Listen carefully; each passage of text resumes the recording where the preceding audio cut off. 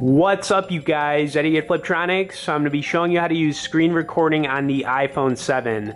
Okay, so if you want to record something, it's really not that hard. You just need to change a couple of options in your settings. So what you want to do is go in your settings and then you want to go to Control Center. So I'm going to do that real quick here. All right, so when you go into Control Center, you want to click on Customize Controls. So uh, typically you're gonna have your stock options, which are gonna be like the flashlight, the timer, the calculator, and the camera. Now, all you gotta do is scroll down and it should be somewhere mixed in here. You're gonna have the screen recording option. All you gotta do is tap the plus on it.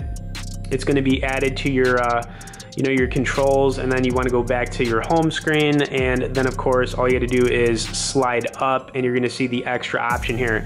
So I'm just gonna get it going. Um, all you gotta do is tap it. It's gonna do a three, two, one countdown, pretty easy and then it's gonna start screen recording. So uh, let's just load something up here. What do I got that I wanna load up? I guess we could load up Neon Drive because this game's awesome. So I'll just pretend like I'm doing some, you know, gameplay recording it here. Just getting my neon drive on.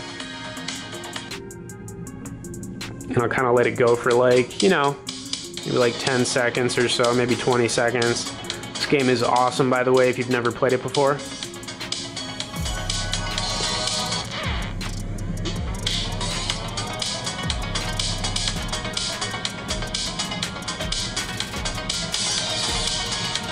Oh, all right, cool. All right, so when you're done, you know, uh, screen recording, just tap there and then just click finish and then it's gonna have your uh, recorded video. So let's go to our, uh, you know, gallery here to check that out. All right, so here it is right here.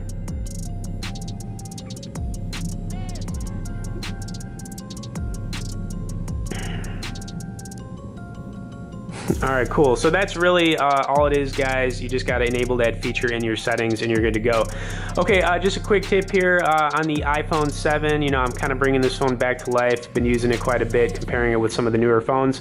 Uh, if you could hit the like and share on this video, I'd appreciate it. If you haven't subscribed to us yet, hit that subscribe and we'll see you in the next one.